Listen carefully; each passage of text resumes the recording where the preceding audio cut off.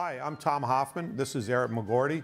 We're co-chairs of the Hingham 50 Flags campaign, which is part of the 4th of July Parade Committee fundraising efforts.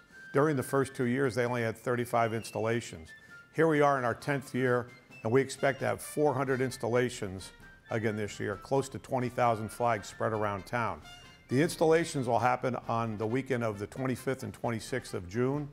They'll be, remain in place for two weeks, and the flags will be removed the weekend of July 9th and 10th.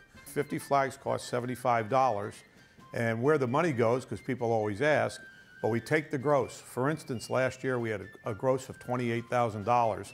We took 20% of that because this is very labor intensive. And we have volunteer players from the Hingham High School football team, the field hockey team, the track team, and the rowing uh, team. And they volunteer and they do the installations and the removals. And based on the percentage of the work they do, they divvy up the uh, $2,800 in the donation pool. That money goes to their respective programs, and at the same time, the players earn community service hours. The ordering deadline is Tuesday, June 21st at 6 p.m. It then takes Hoffy and I a couple days to put together the logistics to install 400 installations throughout town, to break them up through all the sport teams and any other volunteers. And then the removal, two weeks later, the weekend of July 10th and 11th, all the flags get removed. And then we also rely on volunteers to help pack up the flags so they're all clean, packed, and stored nicely for installation for this in 2023.